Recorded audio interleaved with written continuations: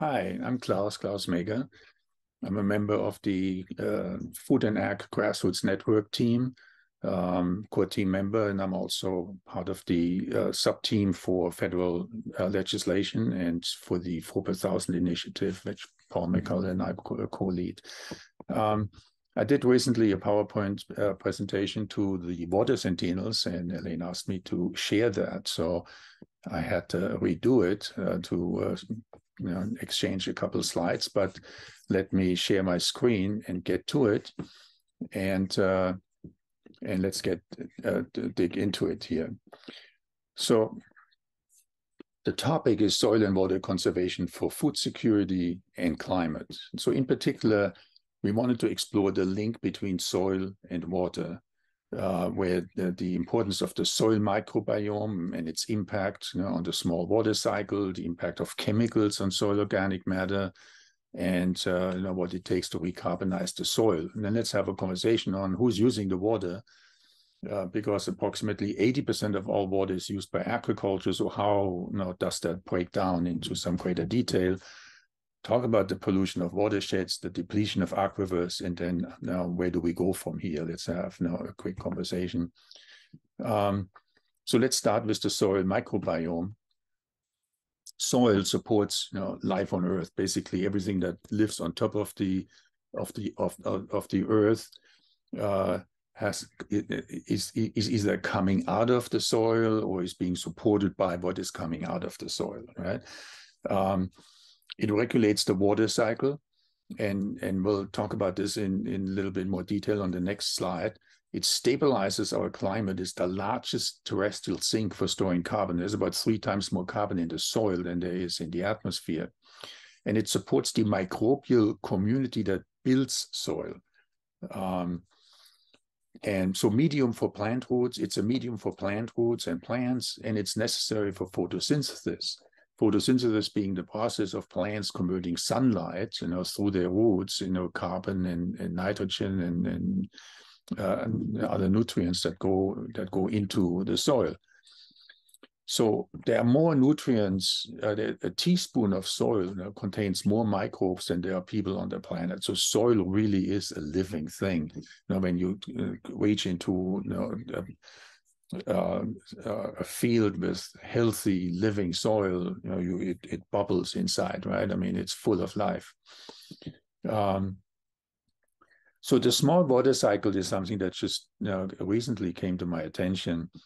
Um, what it refers to is that you have you know uh, large water coming in from the oceans that's being discharged over the land, healthy soil, you know, in a in a uh, normal in a normal environment, or in a uh, healthy environment, the soil you know, absorbs that water, holds onto it, you know, and, and acts like a sponge. Then you have evaporation taking place, and so it's called evapotranspiration, which then stimulates the local water cycle. And so about 50, 60% of normal rain is really due to this local cycling.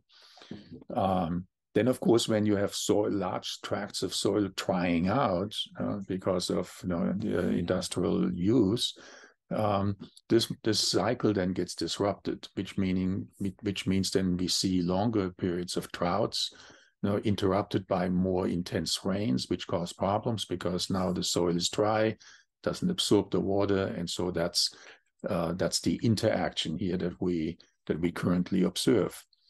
Each 1% increase in soil organic matter helps the soil to hang on to 20,000 gallons more water per acre. That's a big number.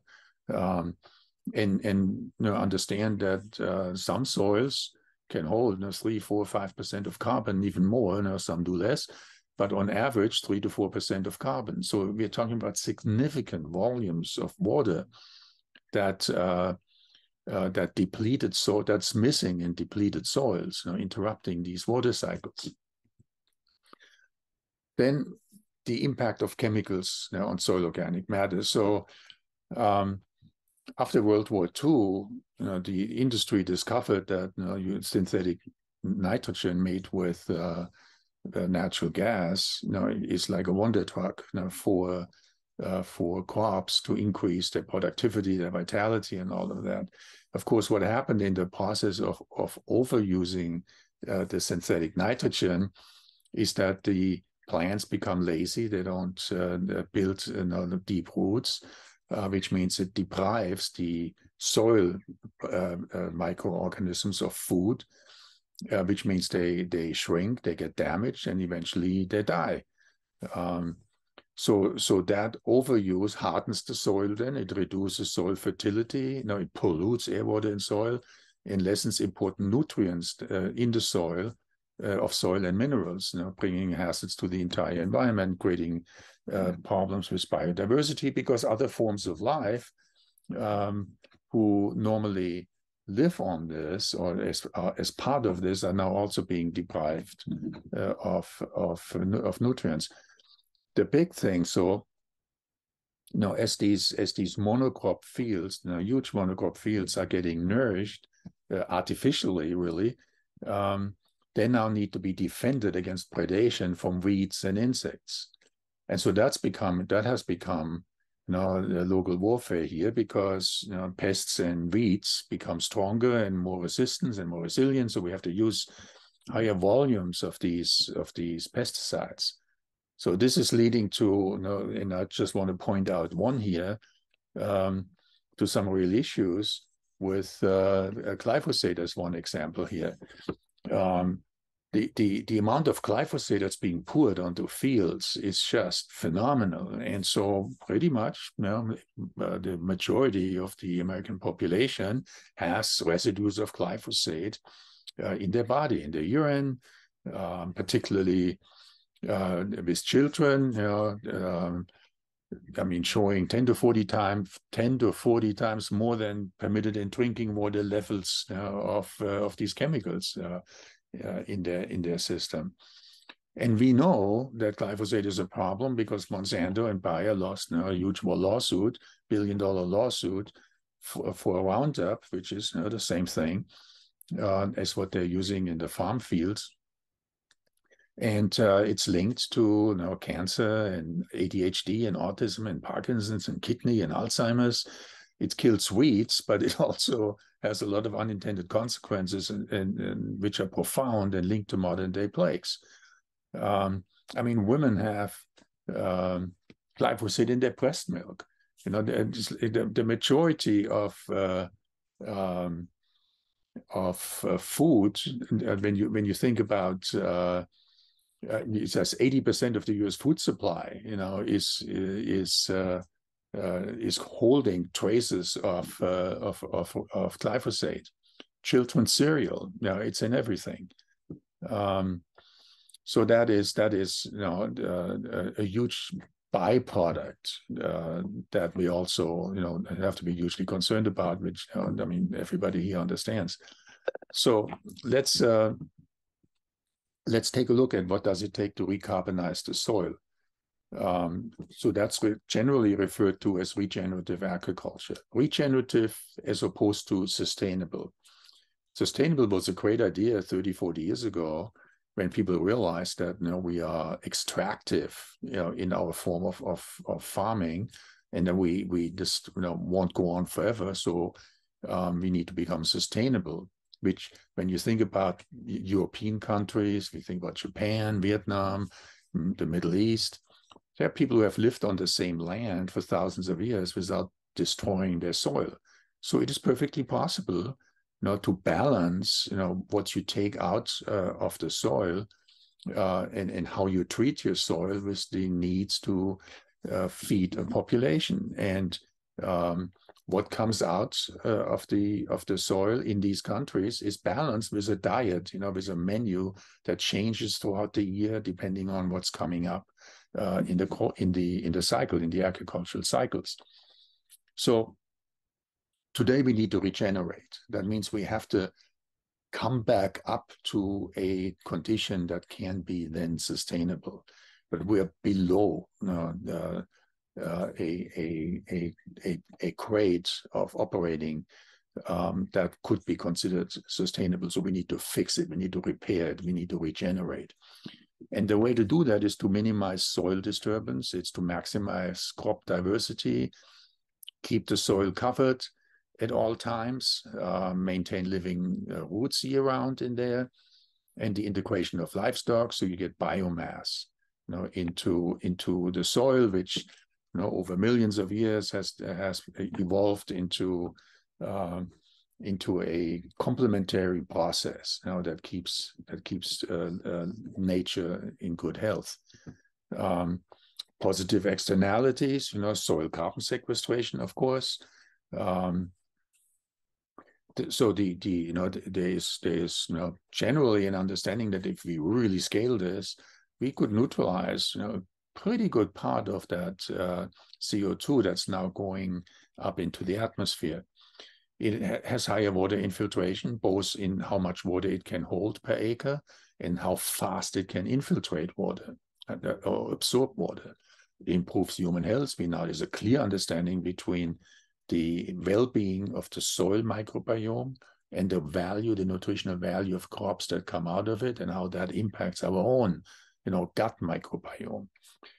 Higher farm profitability because you lose, you have to use less, uh, primarily uh, use less uh, chemicals, which is you know one of the key cost drivers, uh, and you also have to irrigate less. Uh, because the, the soil is has natural moisture that it that it keeps. No, it's generally richer soils that uh, you know have uh, uh, improved nitrogen, phosphorus, calcium, sulfur, and so on. And it increases ecological diversity because it feeds the entire biosystem around it. It just it doesn't just protect this one crop and kill everything else around it. So approximately 80% of all water is used by agriculture. So I have a little video here that I want to share because that uh, explains it much better than I could possibly do. So let's uh, let's take a look at It's that. everything you wish for. Your site traffic is Oops, I have to skyrocketing. listen at the moment. Until Advertising first, this. let's go. This represents all the water used in one year in the western United States. For the past 20 plus years, a mega drought, made worse by man made global warming, has left the West drier than it's been in over a thousand years. That includes the Colorado River system, where reservoirs have been depleted to record lows, which has people talking about ways to cut back. Cities are taking aim at the backyard swimming pool. restrictions such as not washing cars at home and no power washing houses. Businesses and residents must cut their outdoor watering to just one day a week. But this is all the residential water use for 115 million people across 17 Western states. All the lawn watering and toothbrushing and pools and showers use only 6% of all water consumption. The rest of this tells a totally different story.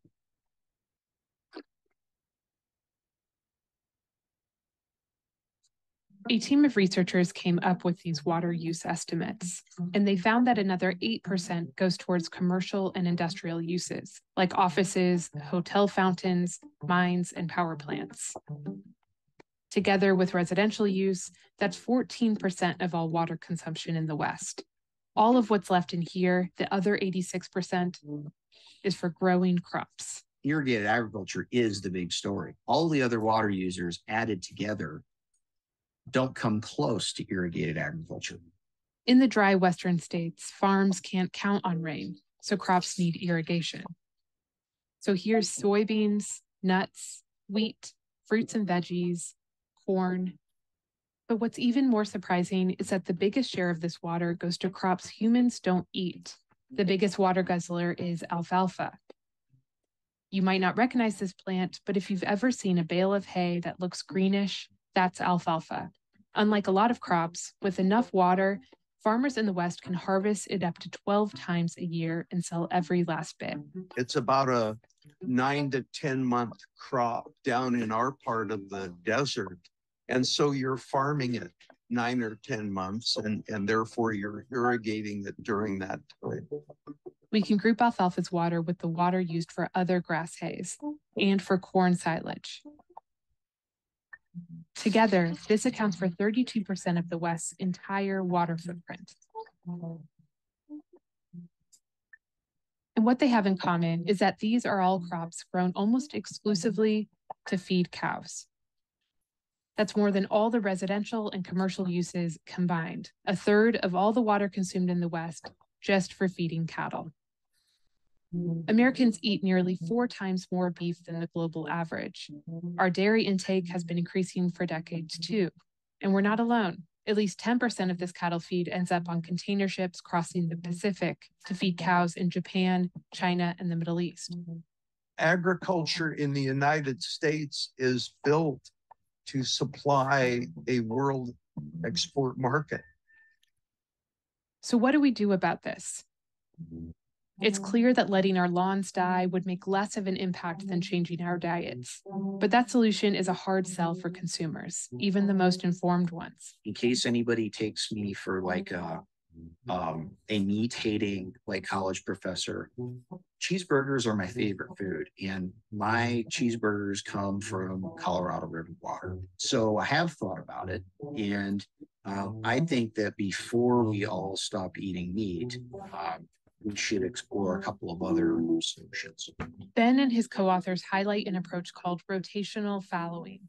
It enables agencies representing metropolitan water users to set a price that they'll pay farmers to temporarily stop irrigating a portion of their fields. Farmers decide whether it's worth it in any given year to take that deal, and the unused water can then be sent to the cities or left in reservoirs. Can fallowing hay and alfalfa in the Colorado River Basin solve the current 2022 year drought crisis?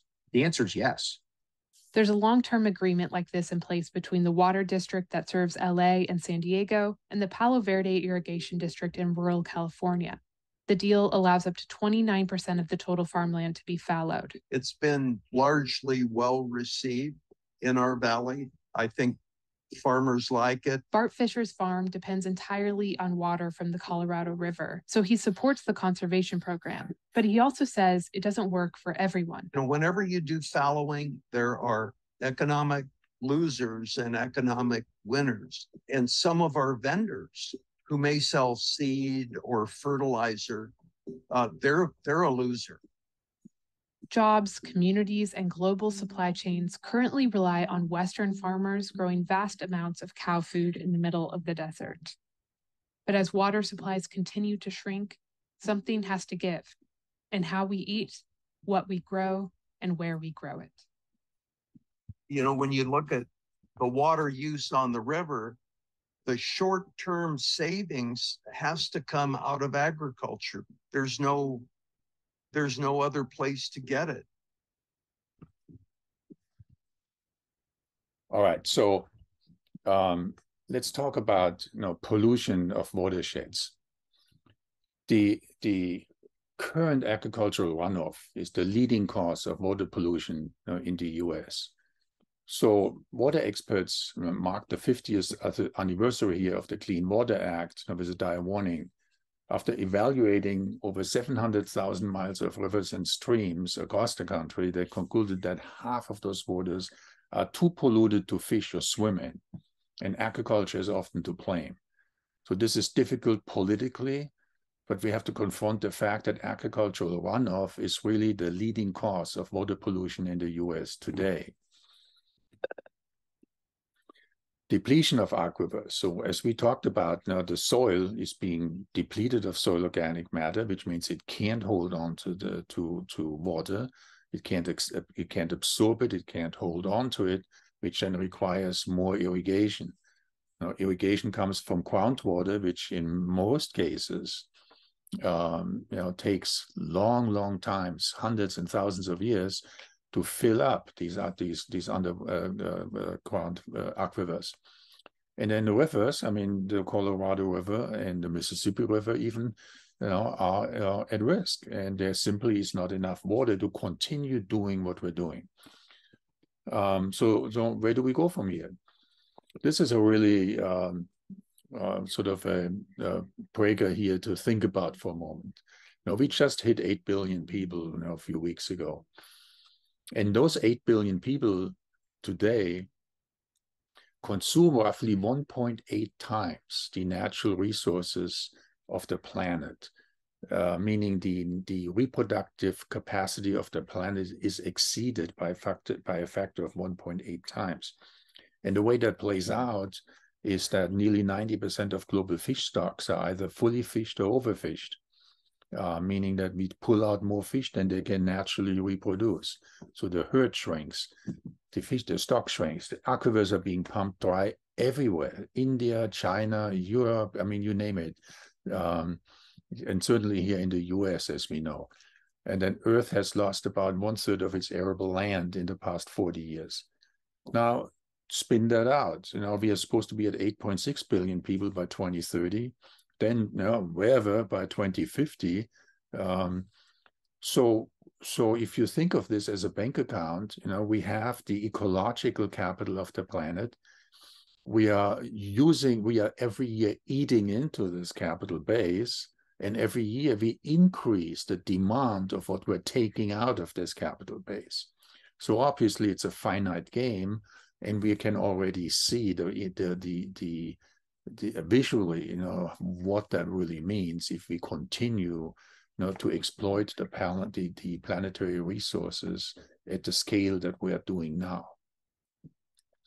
So the cost of doing nothing, um, I mean, the best case here is really pretty bad already. I mean, you, you know, you all are observing this on a regular basis. Um, we are already at a level of overshoot that's irreversible, right? I mean, you have the Arctic ice melting, you have the Gulf Stream slowing down, you have uh, um, the climate patterns being disrupted, you know, because you know the Gulf Stream is is changing the heat and distribution across the planet. So this is water levels are rising. It's it's unstoppable at this point, and all of this is happening much faster than we thought it could it would possibly happen because we don't understand exponential.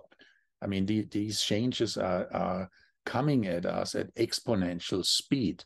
The worst case, and to just be clear, and please, you know, Google it, look up. The worst case here means, you know, that the planet will become uninhabitable to humanity you know, th there's no way that uh, this planet can hold, can stand a three degree increase in average global temperature without changing life conditions to the point where we could not grow enough food. You know, we would uh, we would run out of resources you know, to survive in the way we function right now.